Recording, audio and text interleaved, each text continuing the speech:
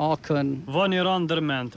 Të paktën kështu po pretendon një njohës i rrethanave politike në Kosovë. Për këtë ftesë që kryetari i LDK-së, Isa Mustafa, ua bëri partive politike me orientim të djathtë, të premten. Pak vonë, mendoj se mu përgatitë për zgjedhje nacionale, të cilat do duhet shumë kohë ma përpara mu trasu një bashkëpunim mes forcave opozitare.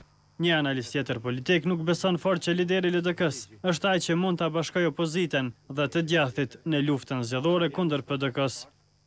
Po përpara ishin ba, në zgjedhjet e fundit u banë gjitha përpjekjet për koalicione të tilla ndërmjet degëve të të LDK-së që u ndanë, domethanë, ë nuk ia dolën nga mospërfillja e kreut të LDK-së.